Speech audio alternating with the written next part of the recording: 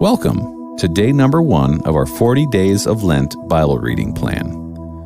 Today's reading is from the Gospel of Matthew, chapter 21, verses 1 through 11 in the New International Version.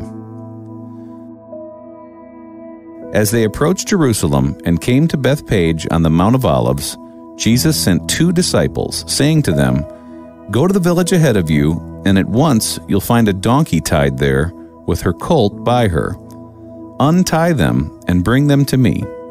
If anyone says anything to you, say that the Lord needs them, and he will send them right away. This took place to fulfill what was spoken through the prophet Say to daughter Zion, See, your king comes to you, gentle, and riding on a donkey, and on a colt, the foal of a donkey.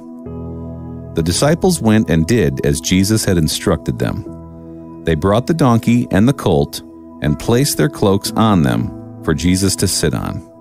A very large crowd spread their cloaks on the road, while others cut branches from the trees and spread them on the road. The crowds that went ahead of him and those that followed shouted, Hosanna to the Son of David! Blessed is he who comes in the name of the Lord! Hosanna in the highest heaven!